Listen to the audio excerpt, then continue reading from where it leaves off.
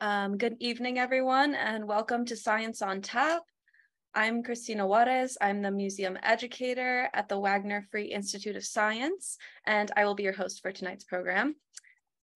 I would also like to take a moment to acknowledge that the land on which the Wagner sits and Philadelphia itself are both part of Lenapehoking, the ancestral homelands of the Lenape peoples. The Lenape were forced from their lands by colonial expansion and are now dispersed across North America. We aim to deepen the understanding of the history of Philadelphia and the land that we occupy and create a more equitable space for all. If this is your first time joining us, Science on Tap is a free monthly gathering held on the second Monday of each month that features presentations by scientists or other experts, followed by lively conversation. Science on Tap is sponsored by a consortium of six Philadelphia institutions, the Academy of Natural Sciences of Drexel University, the American Philosophical Society, the Mütter Museum of the College of Physicians of Philadelphia, the Penn Museum, the Science History Institute, and the Wagner Free Institute of Science. If you love us, please follow us on Facebook and Instagram and join our email list, which you can do on our website, scienceontapphilly.com. Um, and that's about it for messages from me. So welcome Dr. Kathryn Mickle and everybody enjoy. Great, thank you so much. Um, it's really nice to be here. Uh, years and years ago, I was a graduate student working um, at St. Joe's and then also at the Wagner. So it's nice to be invited back to give a talk uh, representing the Wagner. So today I would like to talk to you about some of my favorite fishes. And we are going to be looking specifically at actinopterygians. So actinopterygians are referred to as ray-finned fishes, and there are 27,000 valid species of actinopterygian fishes on the planet today. This means that more than half of the vertebrates on the planet are actinopterygian fishes. And these fishes get their name because of their fin structure.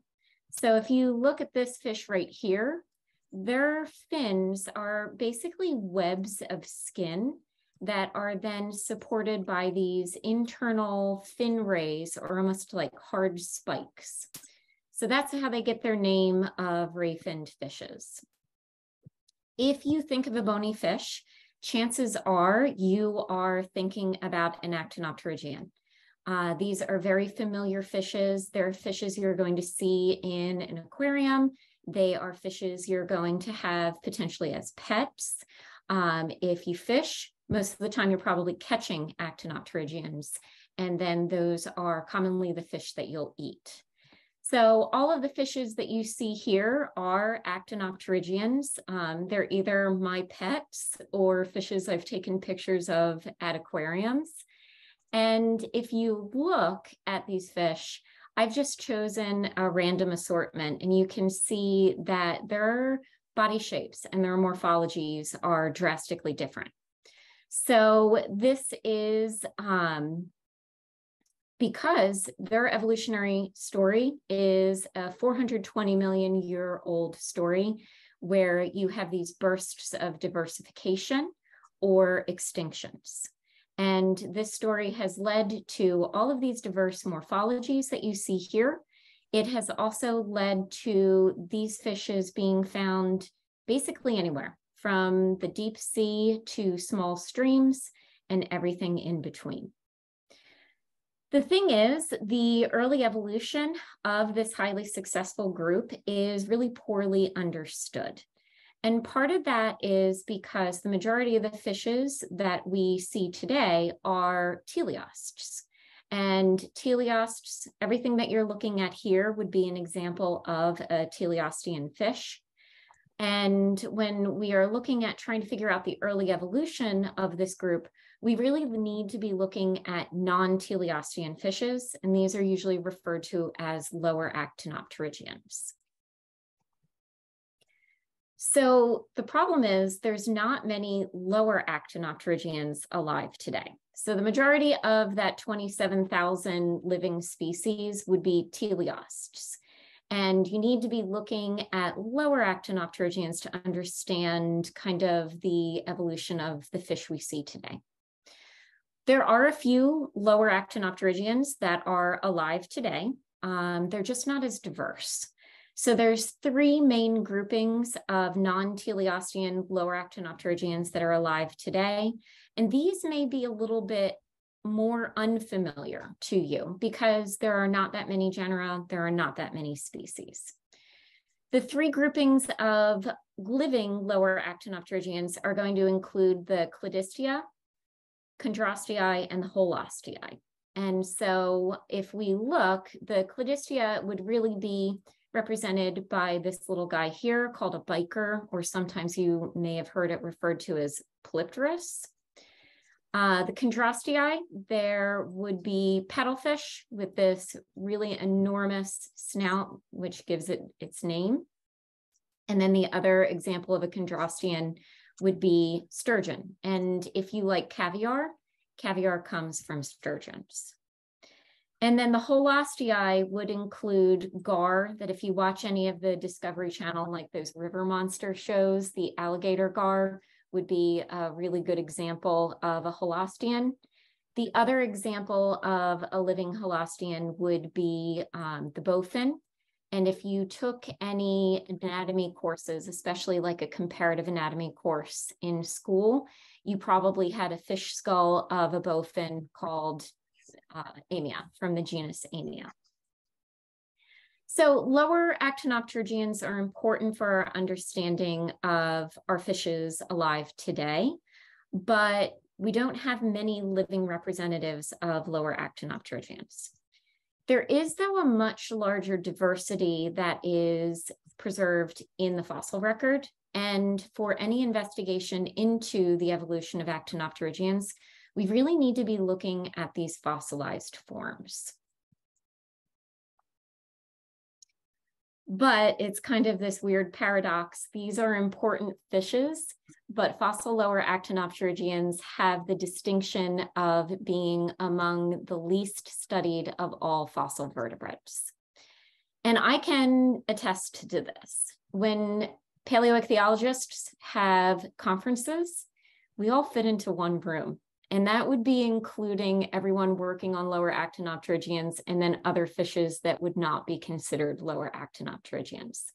So it's a small community of people who are working on these fish.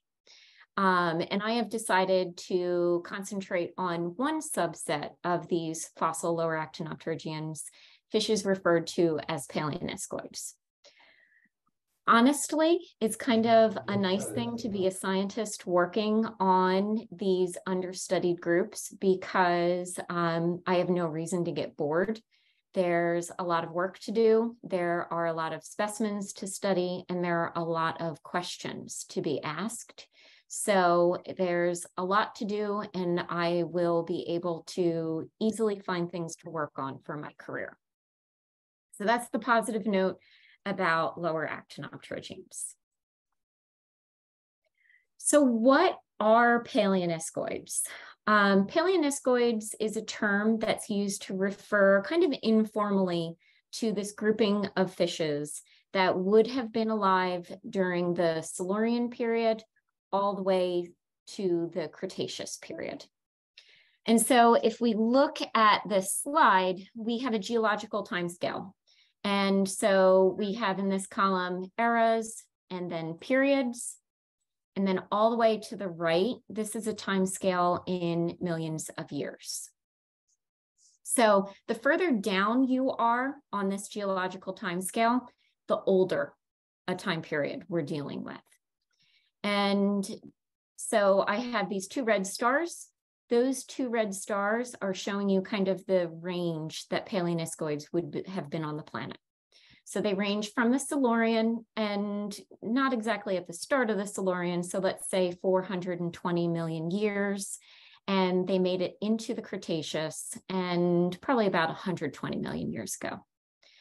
To kind of put things in perspective on this geological timescale, here we are right here with the little Google map uh, pointer.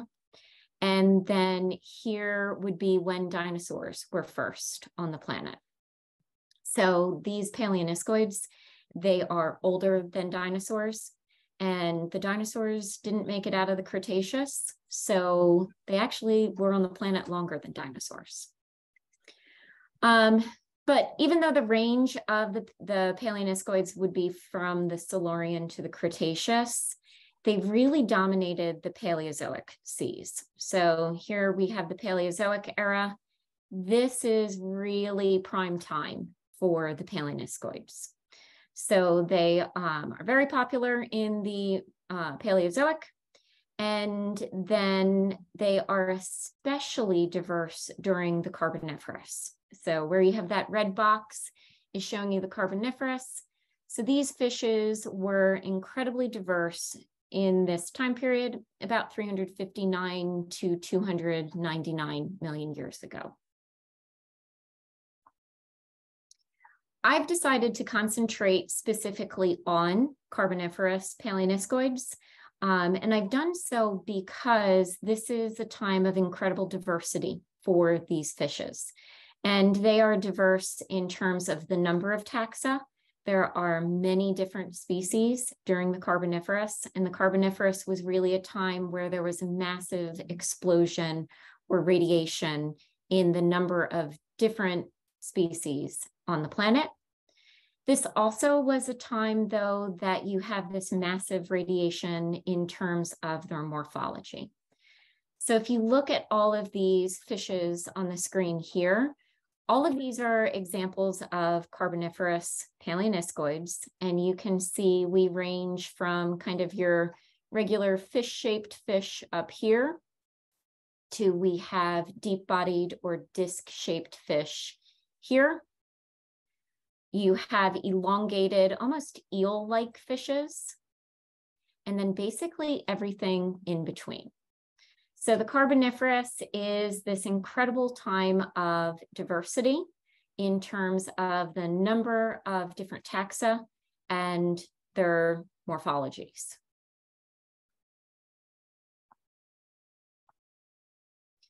So there are a few things that kind of are unique and kind of characteristic of your paleoniscoids. Um, I know I just said that they had diverse body shapes, but by far the kind of majority of your paleoniscoids are going to have a fusiform or a fish-shaped body. And here is kind of a general paleoniscoid to kind of give you an example. It looks like a fish. So it has a fusiform body, and then paleoniscoids are going to be characterized by having a single dorsal fin and then a single anal fin. And they have a special type of caudal fin or tail fin that's referred to as being a heterocercal caudal fin. And what that means is their bony vertebral column actually extends up the dorsal lobe of the caudal fin. So where you have that little blue dashed line would represent where the vertebral column would extend up into that dorsal lobe. And that's very characteristic of your lower actinopterygians. Other features, paleoniscoids do kind of share some characteristic bones of the skull. I'm just going to point out a few of them. Um, the first kind of characteristic bone of the skull would be this bone in green that I'm putting the P on. This is the preoperculum. And the preoperculum in paleoniscoids would be kind of hatchet shaped, where you have this kind of broad um, expanse and then this kind of narrow limb or arm. And the preoperculum would be in front of your operculum that you have right here. And it would be closely associated with the big bone of the upper jaw, your maxilla, that we have here in blue. And the maxilla in paleoniscoids is going to have this really large expanded region behind the orbit or the eye. Other characteristics that kind of define your paleoniscoids would be dealing with their scales. So their scales are going to be rhombic in shape or kind of square to rectangular. The shape can kind of change depending on where the scale came from the body. So they have rhombic scales and they have a really unique histological makeup. And uh, what is characteristic of your lower actinopterygians is there's going to be this outer layer on the scales. It's also found on the bones of the skull called ganoin. And ganoin would be similar to the enamel of our teeth, but totally different. That would be like the closest thing to compare it to. And what's neat about the ganoin is it's laid down in subsequent waves so that you end up having this really intricate ornamentation of ridges on scales and the bones of the skull Sometimes it will be kind of little tuberculations, so it looks kind of stippled.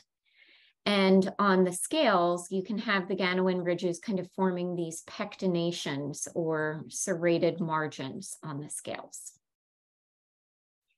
The other thing about the scales is they're characterized by peg and socket articulation.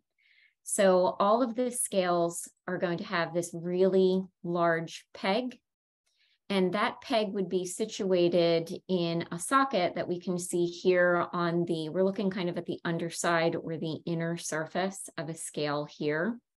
So the peg of a lower placed scale would be situated and articulated in this socket of a scale above.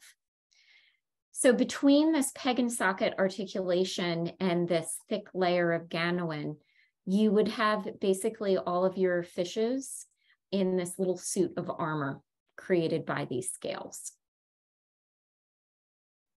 So these fishes are important and they have traditionally always been considered important. They're considered important because it has been long noted that the body plan of today's fishes is probably derived from an ancestor within the Paleoniscoids. So everyone agrees that these fishes are crucial to the understanding of the early evolution of today's fishes. The bad side of that is, even though everyone says these fish are important, we really need to have a better understanding of these fossil fishes before we can be asking good questions about the evolution of lower actinopterygians and then the fishes today. So where are we with our current understanding of these fishes? There's a lot of room for improvement. Um, if we look at the literature, what we can see is we don't really have a strong grasp on the taxonomic diversity of these fishes. There are many specimens in museum collections that need to be studied. It needs to be determined if they represent new taxa and if they do, they need to be described. There's also a lot of already described taxa that need to be redescribed. Um, there was a huge amount of descriptive work done in the 1800s or the early 1900s. And, you know, we're so far out from those original descriptions with different ideas, different um, knowledge that we need to go back and look and redescribe those fishes. Um, so then if we don't have a good idea about the taxonomic diversity, it's not surprising that we don't really have a firm grasp on the morphology that these fishes present.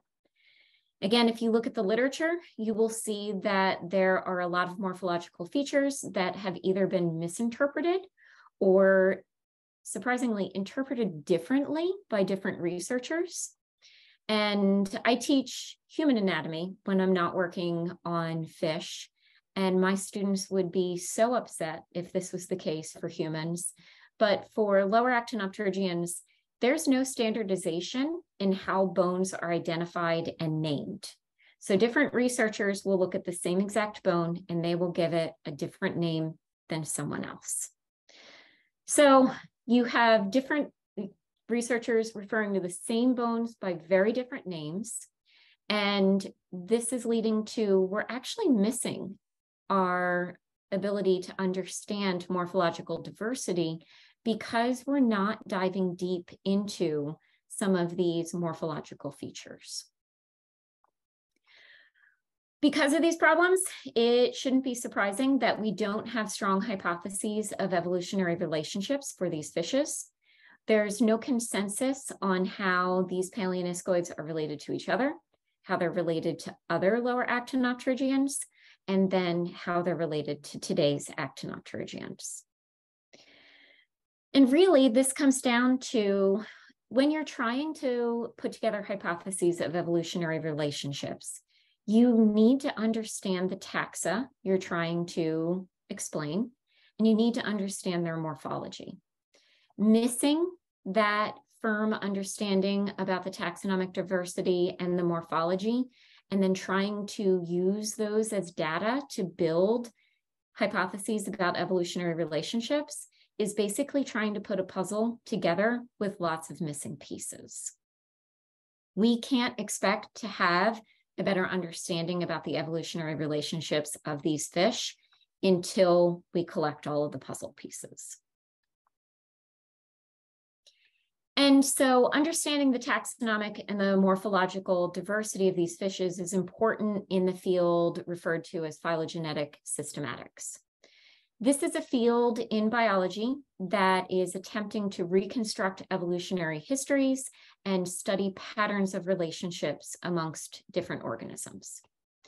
And this is done through building of phylogenies. And phylogenies would be um, best described as being like evolutionary trees. And they are hypotheses of relationships amongst taxa. When you are dealing with fossil taxa, the data you need to do phylogenetic analyses to build these evolutionary trees of relationship would be the fish you include, so the taxa, and then morphological features. And these are referred to as characters.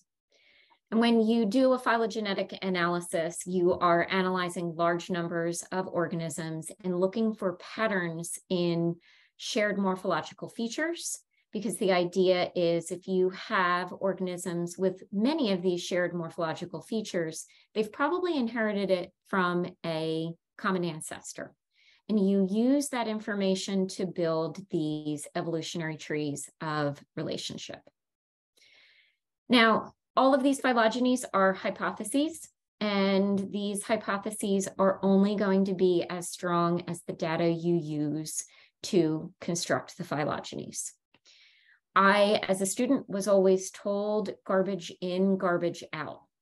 If you have data that is not strong, you will put it into the computer program to run the phylogenetic analysis. It's a statistical analysis. The computer is going to give you something, but it's always something that you have to think about that these hypotheses are only as strong as the data you use to construct them. And if we are saying we don't have a strong grasp on the taxonomic diversity, the taxa that we include in these analyses, and we don't have a strong understanding of the morphological features that we use to construct these trees, it's not surprising that we don't have strong hypotheses of relationship. So how can we actually improve our understanding so that we have good data to be able to feel confident in building trees of relationships? We have to go back to the fundamentals we need to go back and look at those missing puzzle pieces and work on building up those pieces so that we can build up uh, good data to analyze. So the first missing puzzle piece is the taxa. And this is where descriptive work is going to be incredibly important. And a lot of my research has focused on descriptive work. Descriptive work is going to start with a lot of formal in-depth study of specimens. Um, this is where museums are incredibly important. Museums are going to house these specimens, make them available for researchers to come in and study them in the collection. Uh, I am very lucky that you can also arrange for loans of material so that I can take them back to my lab and work on them because some of this work takes a long period of time. So there has to be a formal study of specimens, looking at these specimens, looking at their morphology, and then comparing it to what is already described. If it looks like the specimens that you're working on are representing a new novel taxon, then you start writing morphological descriptions. And these are pretty detailed, written out descriptions, bone by bone, um, scale by scale of the fishes. This is supplemented with photographs and then scientific illustrations of the fishes. And if it looks like this is a new taxon, you do have to designate something called a holotype. And a holotype is best kind of thought of as being a reference specimen. It is what you are basing your description on so that in 100 years, a scientist can go and look at that same exact specimen and have an idea of what it was you were looking at when you were writing your description. You then have to name your new taxon. And then in order for this new taxon to be considered valid, you need to publish a description, the name, and a designation of a holotype.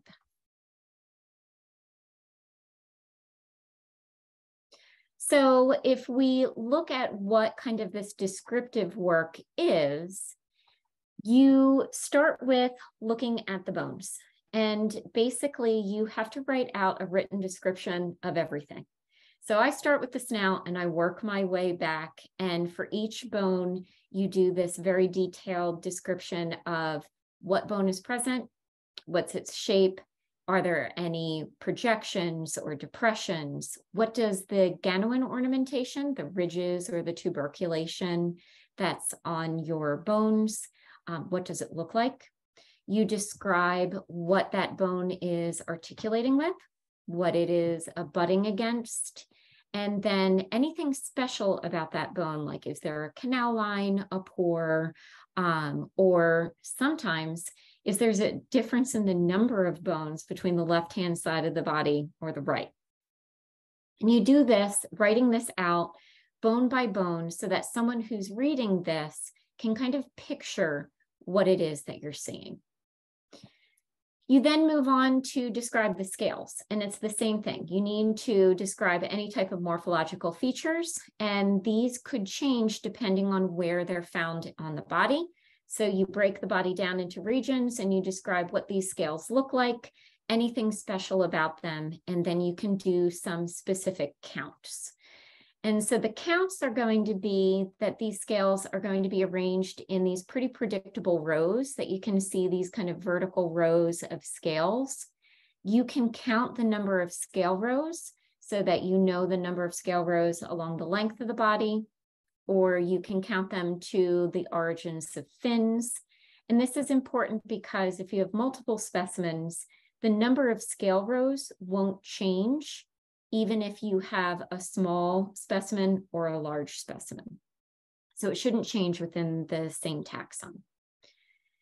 You then move on to fins and you have to describe the placement of the fins, the shape, and then um, pretty tedious, but you count all of the individual fin rays and describe if they have any special features like bifurcations.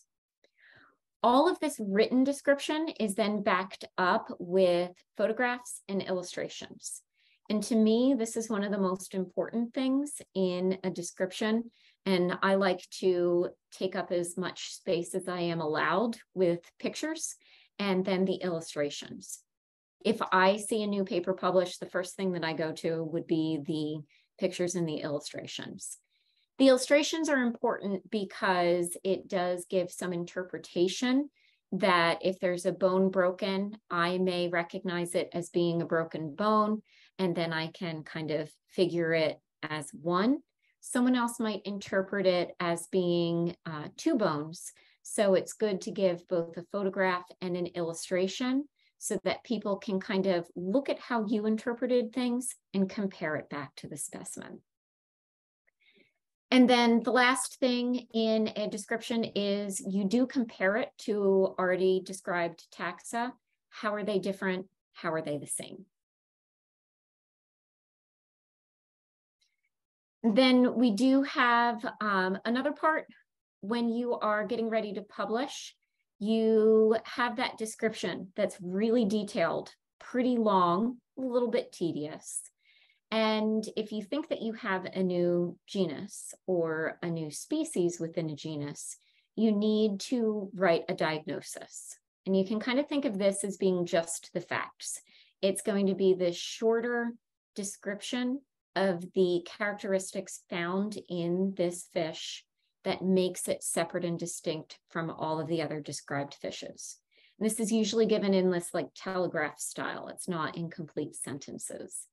So you would give a diagnosis and the diagnosis should reflect what you were seeing in that holotype, that specimen that you have designated as being a reference specimen, that that diagnosis in the description is kind of tied to. The next part would be to name your new genus or species, and I find this to be very difficult. And in order for your new taxon to be valid, it needs to be published. Best way to do this would be to publish it in a peer-reviewed journal or a book where you would have other scientists review it before it's published to look for any problems. And then after your description is published, it is considered a valid new taxon. So I also want to note that redescriptions when you're talking about paleoniscoids are also important. And this is because many paleoniscoids were described in the 1800s or the early 1900s. And some of those descriptions are not as detailed as what we do today. There may not be photographs, there may not be very clear illustrations. Here are three examples of illustrations from uh, Agassiz in the early 1800s, where it's a little bit difficult to see what is present on these fishes and how the bones have been identified. There's also been just so much time that has passed since these were described that it's always good to reinvestigate with new eyes these fishes that have already been described. And lastly, there was a tendency in the 1800s that every fish that was described was kind of lumped into one of the few genera that were already described. And so we have some genera that are considered wastebasket genera, where they might have 50 species in it. And most likely, if you were to look at that genus, you would see that there's a lot of hidden diversity within that genus and that some of them don't actually belong in the genus they were placed in.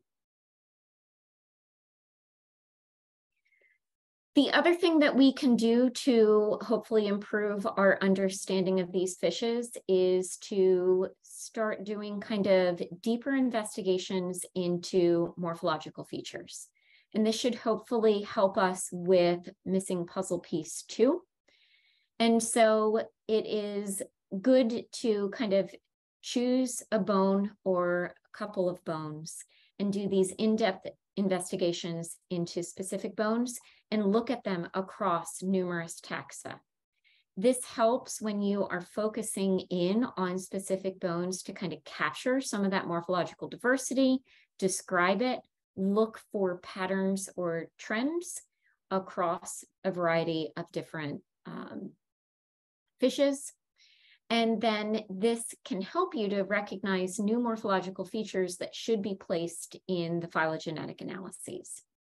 The other thing that I have tried to do is work on proposing some standardization on how bones are identified, or at least make it really clear how I am identifying bones so that there's a written record of that.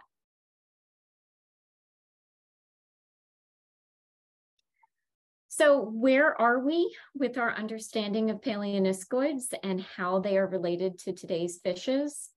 This is a work in progress. So we have a lot of missing puzzle pieces. We need to be able to understand the players or the taxa a little bit better. And this can be done through taxonomic descriptions and redescriptions of already described species. We also need to be looking at tackling missing puzzle piece number two, and doing these closer investigations on these morphological features or characters. And this can be done through these in-depth studies and discussion about morphological features. I have tried to, and I will continue to describe new species so that we have a better understanding of taxa. I have also worked on looking at some of the bones. I started with the snout and I'm kind of working my way back on the skull. And it's all with this hope that these two pieces, the taxa and the morphological features, this is the raw data we need in order to do phylogenetic analyses and produce strong hypotheses of relationship. And so this is something that it is good to go back to these fundamentals and be working on because it's going to allow us to be asking bigger questions, hopefully in the near future. And this is something that multiple researchers are working on to fill in all of these missing pieces. So it is really exciting every single time that there's a new taxon uh, described. It's really exciting every single time someone publishes a paper looking at specific morphological features. And then it's really exciting when people publish updated phylogenetic analyses and those results. So that's what I have for you tonight. I want to thank you for your attention, and I would be glad to answer any questions if there's questions. Kathryn, thank you so much for that talk. I have a couple of questions already posted in the chat, so I'm going to read one of those out, but uh, anyone else can feel free to add questions to the chat. We have about 20 minutes. So the first question is, in view of all the uncertainties, how can we be sure that two similar fossils are or are not the same species? So that's where it is really good to publish and to document. So those descriptions are good at documenting what you are seeing in what you think may be a new species. And that's where the comparison is going to be really important as well. Peer review before you can publish, it is um, important to have other experts in the field kind of review it ahead of time. And if they see something that they think is missed, they will comment for you to go back and look at. But the really good way of testing all of this is through the phylogenetic analysis. That if you put the data in and you see that there's no distinction between what you're calling a new taxon and then something that was already described, that would be evidence that you need to go back to the drawing board with what your conclusion was in an earlier paper. We have a question from Dennis who says, is there a promising effort to create a uniform nomenclature for morphology? Um, even though I have published and I have spent a lot of time thinking about this, I don't know. Um, there seems to be different schools of thought on how things are named, and some of it goes back to tradition, and that earlier you would use a certain set of information and that's how it's always been done. And sometimes it's hard to step away from tradition.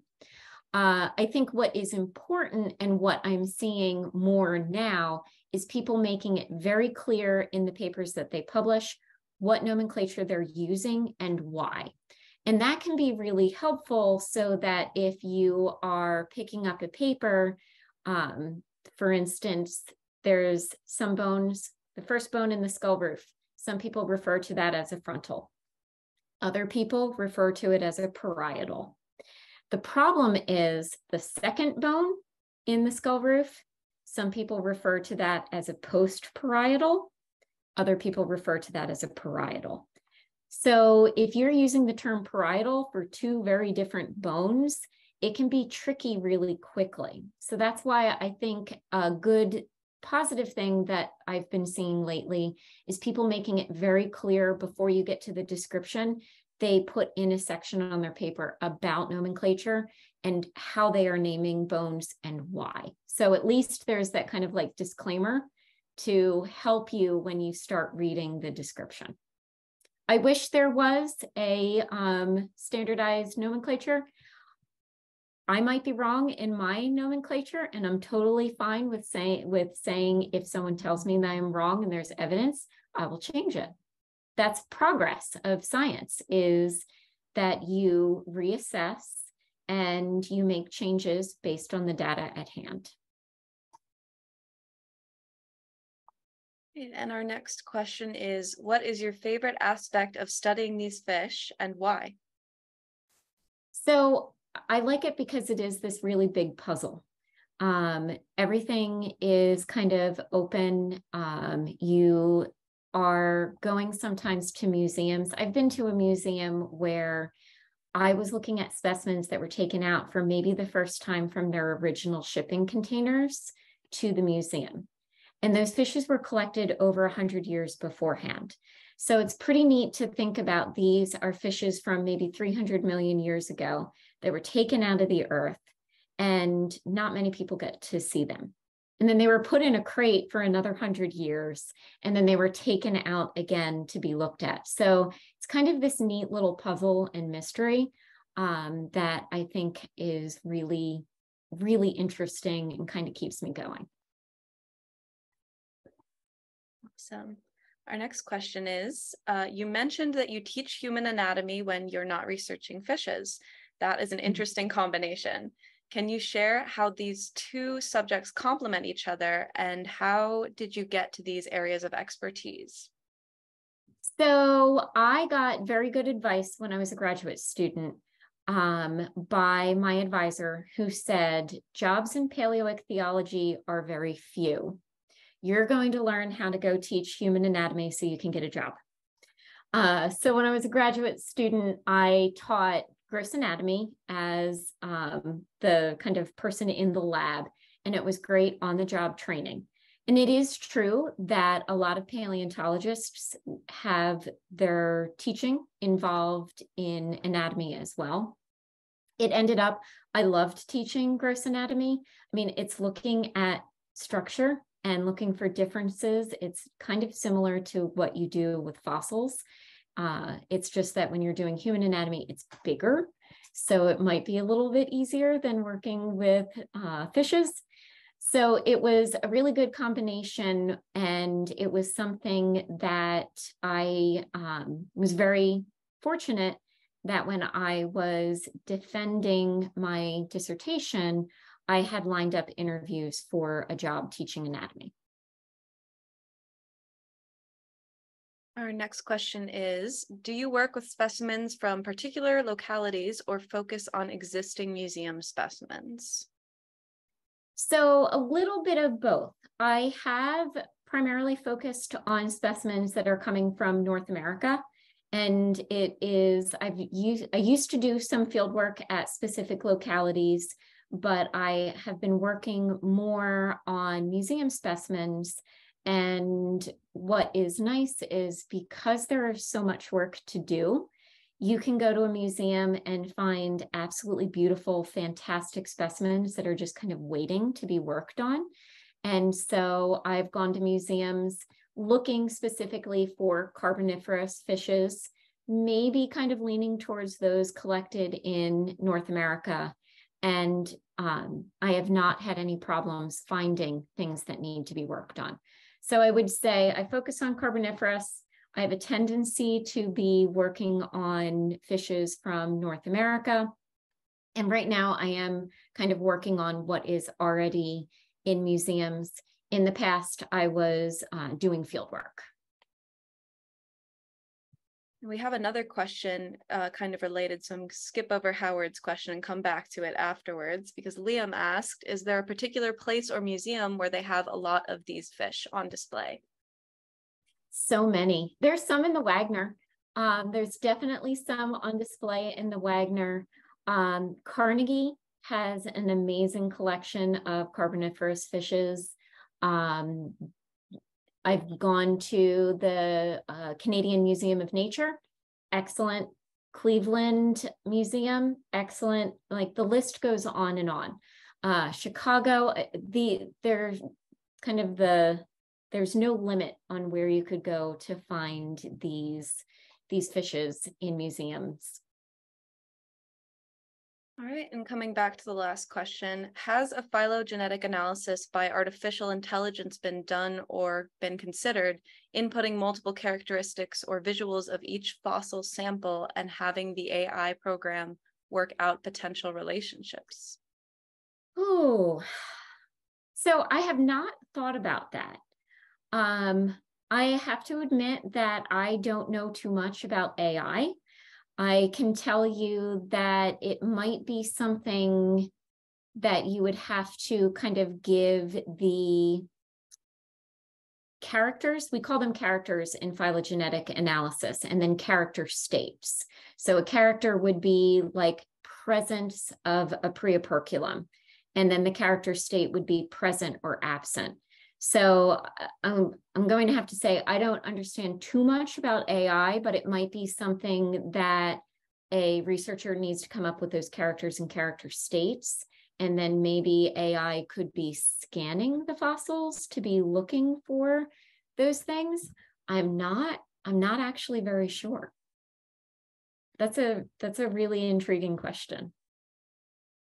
Definitely. And our next question is How do paleoniscoids fit, uh, if at all, on the lineage from ray finned fish to tetrapod limbs, or are they a separate branch? So I think you have picked up on why actinopterygian fishes are maybe understudied. They're on a separate branch. And so they are not involved in the transition to land and the tetrapod limb. So the two kind of groupings of bony fishes are actinopterygians and sarcopterygians. Sarcopterygian fishes are going to be the um, branch leading to tetrapod limbs. And I have a sneaky suspicion that's why actinopterygians don't get as much attention because they are on a separate branch.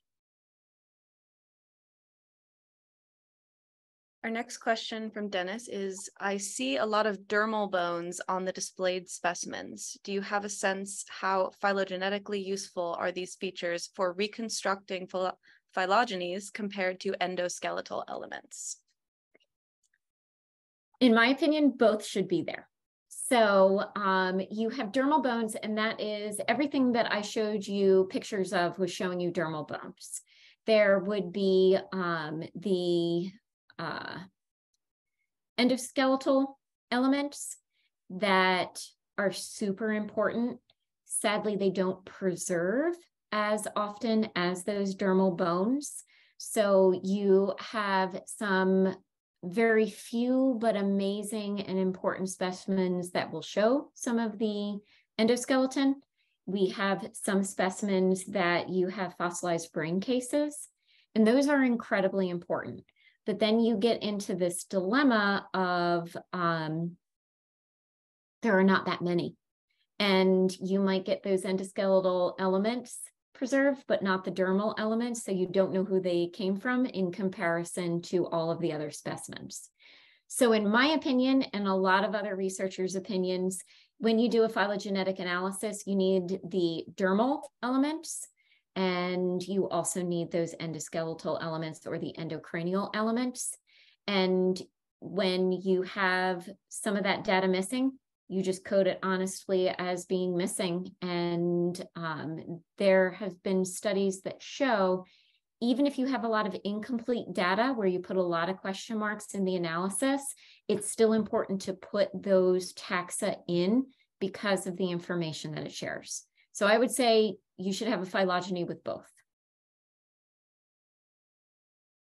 What can be inferred about the environment at the time of paleoniscoids and or about the cause of their extinction? Modern deep sea studies occasionally uncover new or exotic species. Any hope of finding a living paleoniscoid one day? I would love to find a living paleoniscoid. I don't think it's going to happen. Uh, the closest that I have, I keep a lot of fish for pets. The closest I would have would be that bichir, the Polypterus.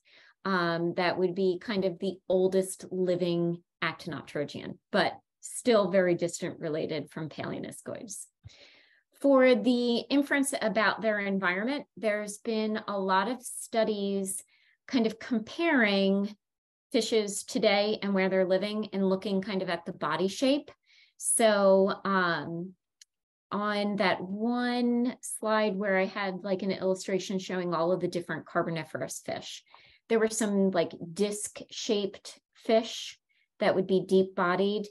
We have deep bodied fishes today. And so there's comparisons over maybe that morphotype or that body type was living in a similar environment. Uh, same thing for those kind of like eel shaped fishes. So there's been a lot of work with that. And then there's been a lot of work looking at the dentition of the fishes and comparing them to the teeth of fish today to kind of infer what they ate. Um, but what the best thing for inferring the kind of paleo environment would be is a situation where you have a fossil Lagerstätten, which is a really fancy way of saying a mother lode.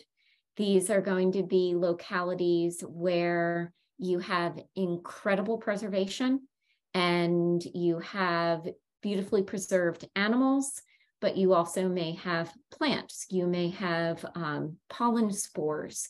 You may have trackways. And so you can put together all of this information and not only understand the, the animals living in the environment, but kind of reconstruct the environment too. So the best way to reconstruct the environment would be through the um, fossil Lagerstätten. One of the bad things about, or kind of um, unfortunate things, is whenever you're dealing with fossils, you're dealing with, you need those animals to have preserved. So the situation needs to be just right for preservation. So then that might mean that we're not capturing everything in terms of the fauna and where they were living because it might not have been um, just right for the the um, fishes to be preserved. So we might miss something about certain environments. All right, we have one final question in the chat right now, which is how can we be certain that two fossils are different species or variations within one species? Through careful descriptive work. And it can always be overturned. So um, science is always, in my opinion, um, you are working towards putting together the strongest case for something. And as we learn new things, you may have to go back and reassess your previous conclusions. And that's okay. But if you have to reassess previous conclusions, that is evidence that science is working because it's always a process. And I oh, actually oh, have Oh, sorry, go ahead. There is a question about um, what was the fish that I mentioned that is the closest. Polypterus. Um, it's called a bichir. So bichir is in the chat, and then I'll put in the genus name is Polypterus. They are fishes only found in Africa.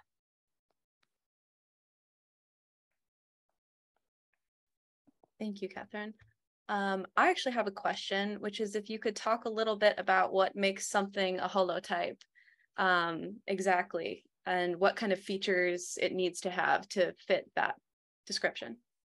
So the holotype should be your absolute best specimen, the one that when you sit down to it, you can see all of the things that you are saying are important for recognizing that taxon. Now, that doesn't mean that you can't have something in the description that isn't preserved in the holotype. Like I have holotypes that don't have certain fins, but um, you can then in your description reference other specimens, give the specimen number in your description saying the description of the dorsal fin is from specimen blah, blah, blah. So that there is a written record of while it's not preserved in the holotype, all of those features in the holotype are also in this specimen. And then now we can talk about the dorsal fin based on, on this other specimen. So the holotype should be something that is your reference point that is going to preserve the majority of the features you are saying are important for identifying that specific taxon. Thank you. All right, do we have any more questions? I'm checking the chat right now. Oh, it looks like we have one more, which we have a few minutes. Yeah. So Dennis asked, any sense whether paleoniscoid specimens are more likely to be found in marine or freshwater localities? This is a very controversial question. Um, there probably a lot of the evidence points to they were marine, at least very early on. They were all probably marine or um, kind of nearshore environments where maybe there was some influx of fresh water, but it would be like marine or brackish. So it gets kind of controversial because there are some sites that you have these fishes and then some indicators of other fossil specimens that would point to it being uh, marine but you have maybe amphibians and all of the amphibians today are freshwater so then if you kind of apply that you can kind of take it and there are some people that will make some environments freshwater because the amphibians are there even though there's a lot of data that may say the other that it was marine. So that is a very controversial question um, my sense is a lot of the kind of Devonian and Carboniferous environments were marine and that these fish started marine and then you would have maybe a kind of movement towards some freshwater environments. Um, oh, I just got a question and do you want to try to answer one in sure. two minutes? Okay. Uh, so a microscopic view of the fossil scales to pick out parasitic organisms. Maybe if the parasites were really large. There are actually people who specialize in pathologies, not so much like the small parasites, but you can actually see where a animal may have had an injury that healed may have had signs of disease that healed. So there's an entire field of um, paleontology that is paleopathology. And so if it's preserved, it can be studied. So it might not be super small parasites that could be studied, but maybe large enough that it would preserve and be viewed under a microscope. All right, and we're at 6.59, so we'll stop here. Thank you all so much for coming to uh, tonight's talk and make sure that you don't miss the next one. It'll be on January 9th, 2023, hosted by the Mutter. Thank you so much, uh, Dr. Mickle, for sharing with us. Thank you. Thank you so much. This was very fun. Thanks. Hi, guys.